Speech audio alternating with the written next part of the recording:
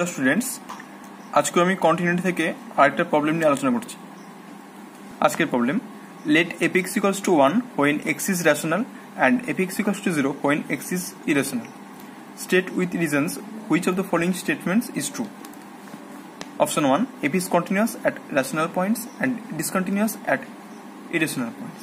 Option 2 f is discontinuous at rational points and continuous at irrational points. Option 3 f is continuous everywhere and last option 4 is f is discontinuous everywhere. তো এখানে ফাংশনটা f x সমান one যখন x মানটা rational অর্থাৎ x মানটা মূলত সংখ্যা, আর যখন এক্স এরটা অমূলত সংখ্যা, তখন মানটা, ফাংশনের মানটা জিরো তো এবার চারটে অপশনের মধ্যে আমাকে উপযুক্ত পরিমাণে যুক্তি দিয়ে দেখতে হবে কোনটা ঠিক তো আমরা একটা পয়েন্ট আলফা ধরলাম, যেটা আলফা বিলংস টু আর সেটা ধরলাম আলফা পয়েন্টটা রেশনাল অর্থাৎ মূলত সংখ্যা। তাহলে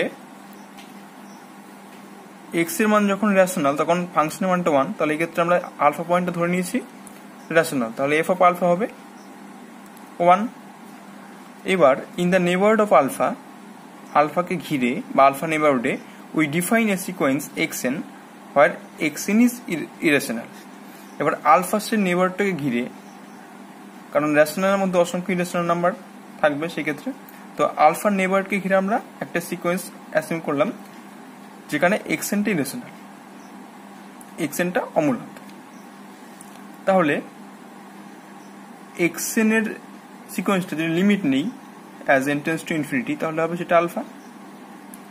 যেহেতু এটা নেবারহুডে আমরা এক্সেন সিকোয়েন্সটা কনসিডার করছি ওকে তাহলে এফ অফ এক্সেন হবে জিরো এই ক্ষেত্রে ইরেশনাল পয়েন্টে কত হবে? মানটা দাচ্ছে জিরো তাহলে এই ক্ষেত্রে এফ অফ এক্সেনটা জিরো হবে। তাহলে এফ এক্সেন সিকোয়েন্সটা জিরোতে কনভার্স করবে হুইচ কনভার্জ টু জিরো তাহলে আমরা দেখতে পাচ্ছি limit fxn equals to 0 which is not equals to 1 and আমরা আগেই করেছি f of alpha equals to one তাহলে দুটো অসমান। তাহলে আমরা বলতে পারি f is not continuous at any rational point in R okay এইটা আমরা আলফাটা রেশনাল পয়েন্ট ধরে কনসিডার করলাম, এবার আমরা আলফাটাকে ইরেশনাল পয়েন্ট হিসেবে কনসিডার করব। সেকেন্ড কেস let again আলফা be an irrational points of R. তাহলে F of alpha equals to 0 হবে by the given condition okay? Now, we consider a sequence yn such that limit n tends to infinity. Yn equals to alpha. And here, yn is rational for all n. তাহলে, আমরা এক্ষেত্রে সিকোয়েন্সটা consider করেছি wine এবং যেটা কিনা ওয়াইনটা rational তাহলে rational হলে সেক্ষেত্রে এটা যদি লিমিট নেই limit n tends to infinity y n সেটা আলফা হবে।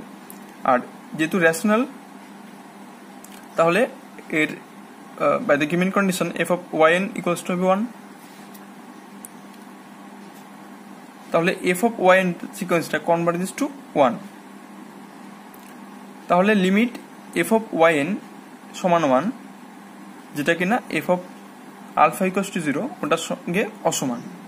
তাহলে আমরা এই সিদ্ধান্তে আসতে পারি যে f is not continuous at any irrational points যেহেতু এটা সম্পর্কটা সিদ্ধ সেক্ষেত্রে হলো না। তাহলে এক্ষেত্রে আমরা বলতে পারি f is not continuous at any irrational points তাহলে প্রথম কন্ডিশন আমরা পেয়েছিলাম যে f is not continuous at any rational point in R and second কেসে পেলাম f is not continuous at any irrational points তাহলে রেশনালেও কন্টিনিউয়াস হলো না ইরেশনালেও কন্টিনিউয়াস হলো না। Hence we conclude that f is discontinuous everywhere তাহলে আমি যদি অপশনের সঙ্গে মেলাই, তাহলে অপশন সেক্ষেত্রে অপশন ফোর হবে কারেক্ট ওকে আজকে আমি এই প্রবলেমটি নিয়ে আলোচনা করলাম। পরের ক্লাসগুলোতে কন্টিনিউটি থেকে আরও অন্যান্য প্রবলেম নিয়ে আলোচনা করব। Thanks for watching